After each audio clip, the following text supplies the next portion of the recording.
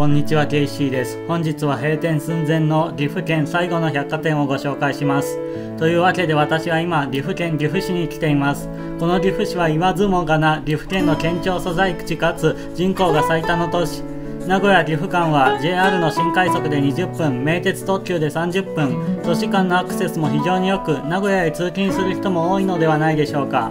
そんな岐阜市に閉店寸前の岐阜県最後の百貨店があるので早速そちらに向かっていきましょう。私は百貨店に向かいて歩いているのですが駅前の店はほぼシャッターが閉まっていて寂しい感じがします。そして大通りを歩くと商店街らしきものも見えてきますがこちらもお店はほぼ閉店済み。人もまばらでこの辺り一等地なのに賑わってる様子は全くありません。大通りを歩いても車通りこそそこそこあるものの自転車や徒歩の人は少ない感じ。そんな大通りを歩いていると巨大なビルが見えてきます。こちらのビル柳ヶ瀬グラス35といい地上35階建て地下1階建て高さ 130m のビルとなっています。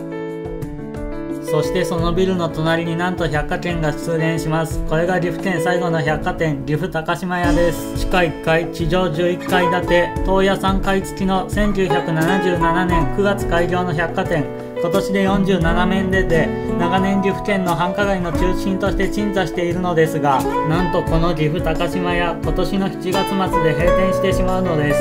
一体なぜ岐阜高島屋は閉店することになったのかそれについても話していきましょう。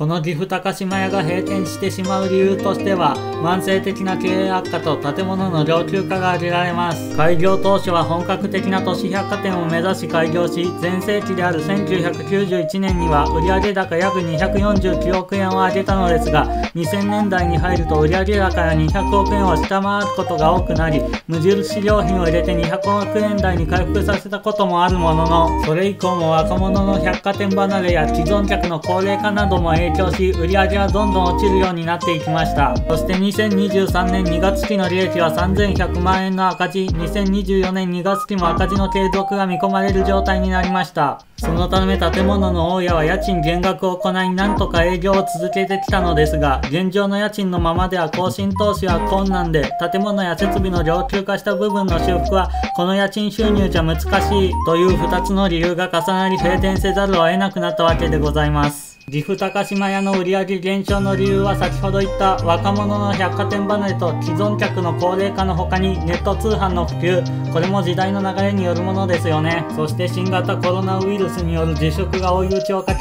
さらなる大打撃を受けてしまったのです。かつて岐阜市には岐阜近鉄百貨店新岐阜百貨店そしてここ岐阜高島屋と計3つの百貨店が鎮座していたのですが岐阜近鉄百貨店は1999年新岐阜百貨店は2005年に閉店。そしてこの百貨店が閉店することで岐阜県内の百貨店は消滅し山形県徳島県島根県に次いで国内4番目の百貨店がない都道府県になるそうです。閉店まで残りわずかとなりましたが興味がありましたら岐阜高島や今のうちに訪れてみてはいかがでしょうか。そして岐阜高島屋に隣接する形で商店街があります。こちら柳ヶ瀬商店街。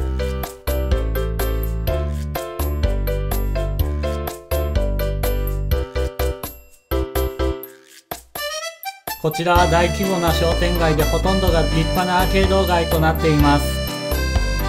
しかし人はまばらで店はどこもシャッターが閉まっていますね。百貨店閉店も相まってこの柳ヶ瀬商店街のさらなる衰退も加速することでしょ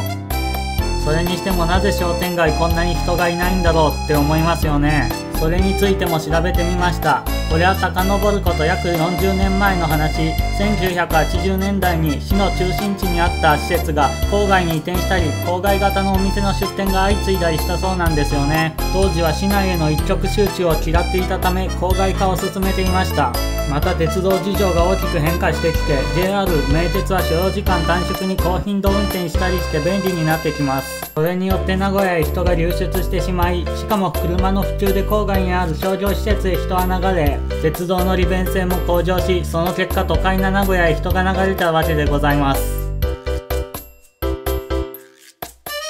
そして2005年には名鉄岐阜市内線が廃止してしまい鉄道でのアクセスが不便になり衰退に拍車がかかったのです。こうして今でも柳ヶ瀬商店街並びに駅終点の衰退が進んでいるわけです。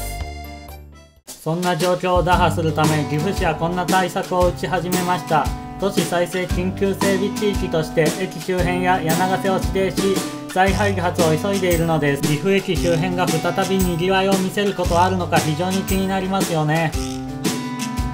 そして再開発で生まれた施設が先ほどお見せしたこちら柳瀬グラッスル35低層階には商業施設やスポーツ施設など5階から35階は分譲住宅となっています。このビルを筆頭に岐阜駅周辺が生まれ変わっていくことでしょう。というわけで今回は閉店寸前の岐阜県最後の百貨店岐阜高島屋並びに柳ヶ瀬商店街を紹介してきました。岐阜高島屋は今年の7月末で閉店柳ヶ瀬商店街もシャッターが閉まっているところが目立ちます。また柳ヶ瀬商店街だけでなく他の商店街や大通りなども店がいくつか閉まってる場所がありました。皆さんも興味がありましたら岐阜高島屋並びに柳ヶ瀬商店街に訪れてみてはいかがでしょうか。それではご視聴ありがとうございました。